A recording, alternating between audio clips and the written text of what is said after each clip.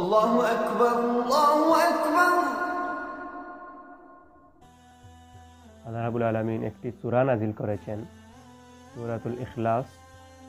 এই শব্দটির চারটি আয়াতে আল্লাহ রাবুল আলমিন তার পরিচয় তুলে ধরেছেন। এখান থেকে আমরা একটি থিম নিতে পারি, একটি মডেল নিতে পারি যে একজন সৃষ্টিকর্তা সৃষ্টিকর্তা হতে হলে যেই গুণগুলা থাকা প্রয়োজন, সেগুলা সূরা ইখলাস থেকে আমরা নিতে পারি। এবং পবিত্র কোরআনের অন্যান্য আরও আয়াত আছে, সৃষ্টিকর্তার পরিচয় সম্পর্কে। এখন আমরা জানি, হিন্দু ধর্মাবলম্বী যারা, তারা সৃষ্টিকর্তা বিশ্বাস করেন, তবে একজন নয়, অনেক, একাধিক।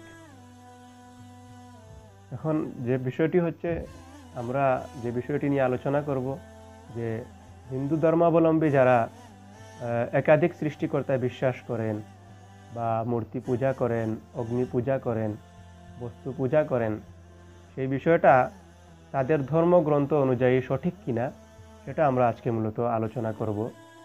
এবং সৃষ্টিকর্তার পরিচয় হিন্দু ধর্মগ্রন্থগুলা কীভাবে দেয় এটা নিয়ে আমরা আলোচনা করব। আমরা জানি যে হিন্দু ধর্ম, ধর্মে, ধর্মের কয়েকটি গ্রন্থ আছে যেগুলোর আলোকে তাদের ধর্ম পরিচালিত হওয়ার কথা। কিন্তু কতটুকু হচ্ছে সেটি আমরা বাস্তবে দেখতে পাচ্ছি যে উপনিষদ ধর্মগ্রন্থ যেটি হিন্দুদের, সেই ধর্মগ্রন্থে সৃষ্টিকর্তা সম্পর্কে যে পরিচয় দেওয়া হয়েছে সেটি হচ্ছে যে একম ইবাদিত্যিয়ম সংস্কৃত ভাষা। এর অর্থ হচ্ছে যে তিনি এক, দ্বিতীয় ছাড়া। অর্থাৎ সৃষ্টিকর্তা একজন, দ্বিতীয়জন ছাড়া। মানে দ্বিতীয় কোনো সৃষ্টিকর্তা নেই, একজন। এই বিষয়টি আছে উপনিষদ গ্রন্থের অধ্যায় ছয়, দুই, এক।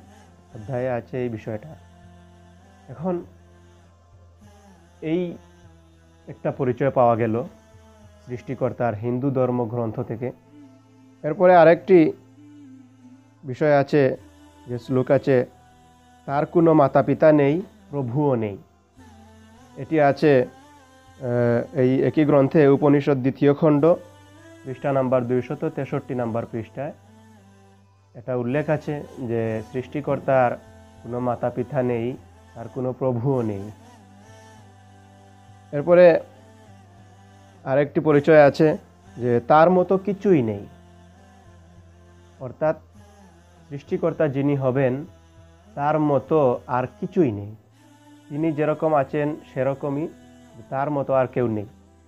এটি আছে উপনিষদ অধ্যায় চার, উনিশ। এরপরে এই বিষয়টি আরও যে গ্রন্থগুলো, গুলোর মধ্যে আছে প্রাচ্যের গ্রন্থ, প্রাচ্যের গ্রন্থাবলী, ভলিউম পনেরো, উপনিষদ দ্বিতীয় খণ্ড, পৃষ্ঠা নাম্বার দুইশত তিপ্পান্ন। এই বিষয়গুলো এখানে আছে যে তার মতো কিছুই নেই, যার নাম মহিমাময় উজ্জ্বল। আরও যেগুলো আছে, আমরা জানি হিন্দু ধর্মগ্রন্থর মধ্যে ভেদ হচ্ছে তাদের সবচেয়ে পবিত্র গ্রন্থ। যে এই এই বেদ আবার চার চার প্রকারের হয়ে থাকে। যেটি হচ্ছে ঋগ্বেদ, আয়ুর্বেদ, শ্যামবেদ এবং অথর্বেদ। এই গ্রন্থগুলোর মধ্যে যে আরও কিছু শ্লোক আছে সৃষ্টিকর্তার পরিচয় সম্পর্কে, এখানে বলা হচ্ছে যে তার কোনো প্রতিরূপ বা প্রতিমা নেই। অর্থাৎ সৃষ্টিকর্তার কোনো প্রতিরূপ, অর্থাৎ তার মতো দেখতে আরেকজনকে বানানো হয় না বা কোনো মূর্তি তার নেই। এটি আছে আয়ুর্বেদের অধ্যায় বত্রি- বত্রিশ, তিন।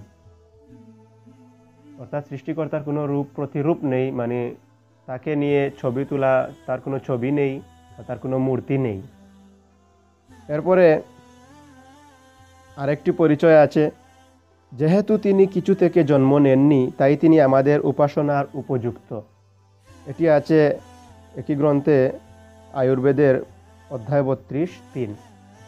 অর্থাৎ এখানে বলা হচ্ছে যে এই পরিচয়টা আগেও আগের গ্রন্থেও দেওয়া হয়েছে যে যেহেতু তিনি কিছু থেকে জন্ম নেননি, তাই তিনি আমাদের উপাসনার উপযুক্ত। অর্থাৎ হিন্দুদের উপাসনার উপযুক্ত এই হিন্দুদের ধর্মগ্রন্থে বলা হয়েছে।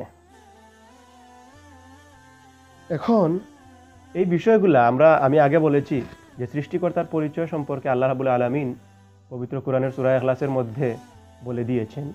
সৃষ্টিকর্তা হতে হলে কোনগুলা গুণগুলা প্রয়োজন?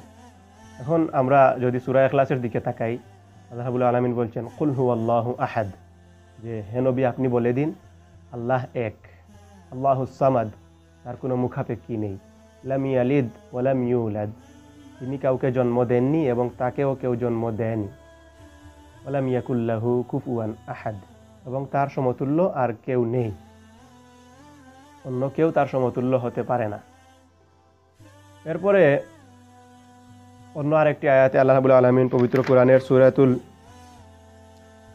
আনামের একশত তিন নম্বর আয়াতে আল্লাহ রাবুল আলমিন বলছেন, লা তুদ্রিকুহুল আবসার ওয়াহুয়া ইউদ্রিকুল আবসার ওয়াহুয়াল লাতিফুল খাবির।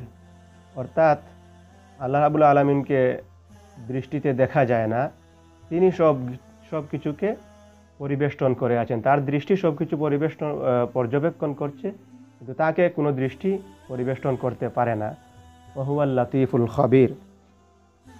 এখানে এই এই একই বিষয়টি আবার উপনিষদের চার নম্বর অধ্যায়ের বিষ এখানে বলা হয়েছে যে তার রূপ দেখা যায় না, কেউ তাকে চুকে দেখে না। তাইলে এখান থেকে আমরা কয়েকটি গুণ পেলাম যে পবিত্র কোরআন থেকে যদি আল্লাহ আল্লাহাবুল আলমিন তথা সৃষ্টিকর্তার পরিচয় যেগুলা যে তিনি অদ্বিতীয়, অর্থাৎ একজন দ্বিতীয় কেউ নেই এবং তার মুখাপেক্ষী তিনি কারও মুখাপেক্ষী নয় এবং তাকে কেউ জন্ম দেয়নি, তিনিও কাউকে জন্ম দেননি এবং তার সমতুল্য, তার তার মতো দেখতে আর কেউ নেই বা তার ক্ষমতার মতো ক্ষমতাবান আর কেউ নেই। আবার তাকে কেউ দেখতেও পায় না, তিনি সবাইকে দেখতে পান। এই যে পবিত্র কোরআনের বিষয়গুলো থেকে আমরা জানতে পারলাম যে আমরা যদি কাউকে সৃষ্টিকর্তা হিসাবে মানি বা তার ইবাদত করি, আমরা দেখি যে হিন্দু ধর্মাবলম্বী যারা, তারা অগ্নি পূজা করেন। কিন্তু এই শর্তের মধ্যে পড়ে না যে অগ্নি আগুন সৃষ্টিকর্তা হতে পারে না। কারণ শর্ত হচ্ছে যে তার রূপ দেখা যায় না। উপনিষদের চার নম্বর অধ্যায়ের বিষয়ে বলা হচ্ছে যে তার রূপ দেখা যায় না, কিন্তু আগুন তো দেখা যায়। বা এর আগে অন্যান্য রেফারেন্সগুলোতে বলা হচ্ছে যে তার সমতুল্য আর কেউ নেই, কিন্তু আগুনের সমতুল্য আরও আগুন আছে, আমরা জানি। এই বিষয়গুলা। এখন আমরা একটা একটা করে যদি বিশ্লেষণ করি যে হুলহু আল্লাহ আহাদ, সূরা ক্লাসের প্রথম আয়াত, যে হেনবি আপনি বলে দিন আল্লাহ হচ্ছেন এক। এই একই বিষয় আমি প্রথমেই বলেছি যে এই বিষয়টা আছে হিন্দু ধর্মগ্রন্থের মধ্যে যে তিনি এক, দ্বিতীয় ছাড়া। অর্থাৎ একজন সৃষ্টিকর্তা, এটা কোরআনেও আছে, আবার হিন্দু ধর্মগ্রন্থের মধ্যেও আছে। এলে সৃষ্টিকর্তার প্রথম পরিচয় হচ্ছে, যেটা ইসলামও বলেছে এবং হিন্দু ধর্মগ্রন্থও বলেছে যে সৃষ্টিকর্তা একজন। এরপরে পরের বৈশিষ্ট্য হচ্ছে যে তিনি কারও মুখাপেক্ষী নয়। এরপরে বলা হচ্ছে, লাম ইয়ালিদ ওয়ালাম ইউলাদ। তিনি কাউকে জন্ম দেননি, তাকেও কেউ জন্ম দেয়নি। আমি আগে বলেছি যে হিন্দু ধর্মগ্রন্থগুলোর মধ্যেও বলা হয়েছে যে তার কোনো মাতা পিতা নেই। অর্থাৎ তাকে কেউ জন্ম দেয়নি। কোনো মাতা পিতা নেই, তার কোনো প্রভুও নেই। এলে দ্বিতীয় বৈশিষ্ট্য যে তাকে কেউ জন্ম দেয়নি, তিনিও কাউকে জন্ম দেননি। এই বিষয়টা কোরআনে যেভাবে বলা হয়েছে, দেখা যাচ্ছে যে হিন্দু ধর্মগ্রন্থ যেগুলো আছে সেগুলায়ও সেই একই বৈশিষ্ট্যের কথা বলা হচ্ছে। তার মানে সৃষ্টিকর্তা যিনি হবেন, তাকে কেউ জন্ম দেয়নি, তিনিও কাউকে আবার জন্ম দেন না। আমরা আবার দেখা যায় হিন্দুরা যখন পূজা করে, অনেক ব্যক্তি পূজা করে, কিন্তু ব্যক্তিকে কেউ একজন জন্ম দিয়েছে, তিনিও অনেক সন্তান সন্তান জন্ম দেন। বা সাপ, সাপের পূজা করে। সাপ জন্ম নিয়েছে, সাপও জন্ম দেয়। এলে এই গুণটা তাদের ধর্মগ্রন্থ অনুযায়ী এই গুণটা কিন্তু সৃষ্টিকর্তা সৃষ্টিকর্তা বুঝায় না। এরপরে বলা হচ্ছে, ওয়ালাম কুফুয়ান আহাদ। তার সমতুল্য আর কেউ নেই। অর্থাৎ সৃষ্টিকর্তার সমতুল্য তার মতো দেখতে আর কেউ নেই। সুতরাং এই বিষয়টা আবার এখানে বলা হচ্ছে যে তার মতো কিছুই নেই, উপনিষদ অধ্যায় চার, উনিশ। এখানে বলা হচ্ছে যে তার মতো কিছুই নেই। তার মতো দেখতে কিন্তু আমরা দেখছি যে হিন্দু ধর্মাবলম্বীরা যে বিষয়গুলোর পূজা করেন মূর্তি মূর্তি একটার বদলা দশটা বানানো যায় সেই মূর্তি বানানো যায়। বা সাপের পূজা করা যায়, যে সাপ আরও হাজার হাজার সাপ আছে, লক্ষ লক্ষ সাপ আছে। আগুনের পূজা করে করেন। আহ, আগুনও অনেক আগুন আছে একই একই ধরনের আগুন আছে ব্যক্তি পূজা বলেন বা এই বিষয়গুলা। এখন তাইলে বোঝা গেল যে হিন্দু ধর্মাবলম্বী যারা যে বিষয়গুলার পূজা করছেন এই বিষয়গুলো আসলে হিন্দু ধর্ম গ্রন্থগুলোর মধ্যে নেই। আসলে যে বিষয়গুলো আছে সেই বিষয়গুলো আমি এখানে উল্লেখ করেছি। একইভাবে হিন্দু ধর্মগ্রন্থের আয়ুর্বেদের চাল্লিশ নং অধ্যায়ের নয়ে বলা হয়েছে যে, তারাই অন্ধকারে নিমজ্জিত যারা প্রাকৃতিক বস্তুর উপাসনা করে। অর্থাৎ এই গ্রন্থে বলা হচ্ছে, তারাই অন্ধকারের মধ্যে নিমজ্জিত যারা প্রাকৃতিক বস্তুর উপাসনা করে, প্রাকৃতিক বস্তুর পূজা করে, যেমন যেমন এখানে বলা হয়েছে বানু, বায়ু, পানি, আগুন। প্রাকৃতিক বস্তু, গাছ হতে পারে, পানি, আগুন, টেবিল বিভিন্ন ধরনের প্রাকৃতিক বস্তু যেগুলা টেবিল তো তৈরি করা হয়েছে কৃত্রিমভাবে। প্রাকৃতিক যেগুলো আছে, যেমন সাপ, আগুন, এখানে বলা হয়েছে, যেগুলো উদাহরণ দেওয়া হয়েছে এগুলার পূজা করে যারা, তারা অন্ধকারের মধ্যে নিমজ্জিত। আবার বলা হয়েছে, তারা গভীর অন্ধকারে ডুবে যারা সম্ভূতির উপাসনা করে। অর্থাৎ শুধু অন্ধকার নয়, তারা গভীর অন্ধকারের মধ্যে আছে যারা সম্ভূতির পূজা করে। সম্ভূতি বলতে বলা হয়েছে যে সৃষ্ট বস্তু, অর্থাৎ মানুষরা যে বিষয়গুলো সৃষ্টি করে, আবার ওইগুলার পূজা করে, তারা গভীর অন্ধকারের মধ্যে মধ্যে নিমজ্জিত। যেমন চেয়ার, টেবিল বা আরও মূর্তি, প্রতিমা বা যেগুলা মানুষ তৈরি করে, নিজের হাত দিয়ে সৃষ্টি করে, আবার ওই বিষয় ওইটাকে আবার সে সৃষ্টিকর্তা বলে বিশ্বাস করে, এটা পূজা করে। ইবাদত করে, তারা গভীর অন্ধকারের মধ্যে নিমজ্জিত। সুতরাং এখান থেকে আমরা হিন্দু ধর্মগ্রন্থ থেকে জানতে পারলাম যে যারা প্রাকৃতিক বস্তু, গাছ, পানি, আগুন, সাপ, ব্যক্তি, এগুলার পূজা করে তারা অন্ধকারের মধ্যে নিমজ্জিত, আবার গভীর অন্ধকারের মধ্যে নিমজ্জিত তারা যারা কি করে? যারা সৃষ্ট বস্তুর উপাসনা করে, সৃষ্ট বস্তুর পূজা করে, যেমন মূর্তি, ছবি, চেয়ার, টেবিল, এগুলার পূজা করে যারা এরা গভীর অন্ধকারের মধ্যে নিমজ্জিত। এটা হিন্দু ধর্মগ্রন্থে বলা হচ্ছে। কিন্তু আমরা দেখতে পাচ্ছি যে হিন্দু ধর্মাবলম্বী যারা আছেন, তারা মূলত এই বিষয়গুলার পূজা করছেন। যেমন সৃষ্ট বস্তু, মূর্তির পূজা করছেন, প্রাকৃতিক বস্তু যেমন সাপের পূজা করছেন গাভীর পূজা করছেন, এগুলা করছেন। কিন্তু আসলে এই বিষয়গুলা যে হিন্দু ধর্ম গ্রন্থগুলোর মধ্যে আমরা পাই না। এখন যে বিষয়টি হচ্ছে যে আল্লাহ রাবুল আলমিন কোরআনের মধ্যে বলে দিয়েছেন সুরাতুল ইমরান আল্লাহ ইমরানের মধ্যে চৌষট্টি নং আয়াত আল্লাহবুল আলমিন বলেছেন যে কুলিয়া আহলাল কিতাব, তাআলাউ ইলা কালিমাতিন সাওয়াইম বাইনানা ওয়া বাইনাকুম, আল্লা নাবুদা ইল্লাল্লাহ ওয়ালা নুশরিকা বিহি শাইআন ওয়ালা ইয়াত্তাখিযা বা'দুনা বা'দান আরবাবাম মিন দুনিল্লাহ। ফাইন তাওয়াল্লাউ ফাকুলু শাহাদু বিআন্না মুসলিমুন। অর্থাৎ এখন আমাদের আহ্বানের বিষয়, আমরা আহ্বান করব আপনাদেরকে হিন্দু ধর্মাবলম্বী যারা আছেন আল্লাহ রাবুল্লাহ আলমিন কোরআনের মাধ্যমে আমাদেরকে সেই ভাষা শিখিয়ে দিয়েছেন যে কুলিয়া আহলাল কিতাব।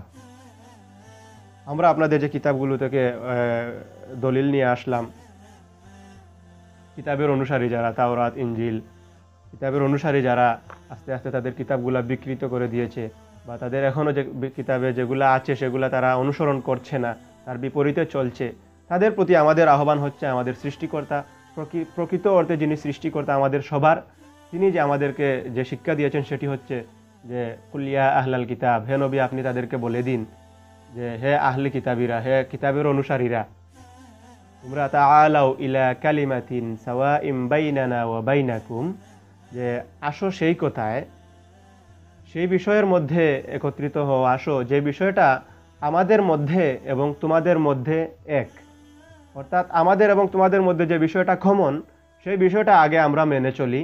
এখানে আমরা সেই বিষয়টাই আহ্বান করছি হিন্দু ধর্মাবলম্বীদের প্রতি যে আমাদের ইসলামের মধ্যে, অর্থাৎ কোরআনের মধ্যে যে বিষয়টা আছে এবং আপনাদের ধর্মগ্রন্থগুলোর মধ্যে যে বিষয়গুলো আছে কমন যেগুলা, সেগুলোর দিকে আসুন। তাআলাউলা কালিমাতিন সাওয়া ইমবাইনানা ওয়া বাইনাকুম আল্লাহ না আবুদা ইল্লাল্লাহ। অর্থাৎ কোন বিষয়গুলো কমন যে আল্লাহ না আবুদা ইল্লাল্লাহ, আমরা আল্লাহ ছাড়া আর কারও ইবাদত করব না। এই বিষয়টা আমাদের ইসলাম ধর্মে আছে, আমরা আল্লাহ ছাড়া কারও ইবাদত করি না। এবং আপনাদের ধর্মগ্রন্থ অনুযায়ী, আমি যে বিষয়গুলো আগে বললাম, যে এক সৃষ্টিকর্তা ছাড়া আর কারও ইবাদত করা আপনাদের ধর্মগ্রন্থ অনুযায়ী সঠিক নয়। সুতরাং এই বিষয়টা কমন এই বিষয়ের দিকে আপনারা আসুন। আল্লাহ না আবুদা ইল্লাল্লাহ ওলা নুশরিকা বিহি শাইআ। এবং তার সাথে যেন কাউকে আমরা শরিক করব না। অর্থাৎ আল্লাহ রাবুল আলমিনের সাথে আমরা কাউকে অংশীদার সাব্যস্ত করব না। যে তার সাথে আরও কারও সহযোগী আছেন তারা তাকে সহযোগিতা না করলে তিনি তার ক্ষমতা প্রয়োগ করতে পারবেন না। এই বিষয়গুলা প্রত্যেকটা ক্ষেত্রে আমরা তাকে অংশীদার করব না। যে একজন সৃষ্টি করেন, একজন মেঘ দেন, একজন জমিন পরিচালনা করেন, একজন আকাশ পরিচালনা করেন, একজন মানব পরিচালনা করেন, একজন পশু পরিচালনা করেন, এভাবে নয়। একজন সৃষ্টিকর্তা আছেন, আল্লাহ রাবুল আলমিন, আমরা তার ইবাদত করব এবং তার সাথে দ্বিতীয় শর্ত হচ্ছে আমরা তার সাথে সে শরিক করি না কাউকে। এটা আমাদের ধর্মগ্রন্থে আছে এবং আপনাদের ধর্মগ্রন্থেও আছে। সুতরাং এই বিষয়টা, দ্বিতীয় বিষয়টার মধ্যে আপনারা আসুন। আমাদের এই আহ্বান থাকল। এরপরে যে বিষয়টি হচ্ছে বা'দান আরবাবাম মিন দুনিল্লাহ এবং আমাদের কেউ যেন অন্য কাউকে প্রভু হিসাবে গ্রহণ না করে। অর্থাৎ অন্য যা, যে বিষয়গুলো আছে, যেমন সাপ, আগুন, গাছ, গাভী, এই বিষয়গুলা, অন্য বিষয়গুলো যাতে আমাদের মধ্যে কেউ পূজা না করে, ইবাদত না করে। আমরা মুসলমানরা আল্লাহ ছাড়া কারও ইবাদত করি না। কোনো গাছের ইবাদত করি না, আগুনের ইবাদত করি না, আমাদের ধর্মগ্রন্থ অনুযায়ী, আমাদের ইসলামের নির্দেশনা অনুযায়ী আপনাদের ধর্মগ্রন্থেও আছে যে আপনারা সৃষ্ট বস্তু বস্তু, প্রাকৃতিক বস্তুর উপাসনা করবেন না। যারা করবে তারা অন্ধকারের মধ্যে নিমজ্জিত হবে। সুতরাং আপনার এই বিষয়গুলো ছেড়ে প্রকৃত অর্থে আপনাদের ধর্মগ্রন্থে যেগুলো আছে এবং আমাদের সাথে যেগুলো মিলে কমন যে বিষয়গুলো, সেগুলো আপনারা অনুসরণ করে চলুন।